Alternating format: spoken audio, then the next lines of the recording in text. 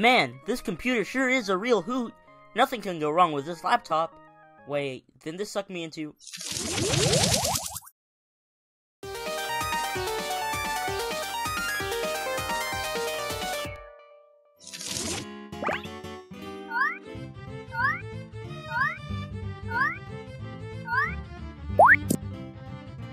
Hello!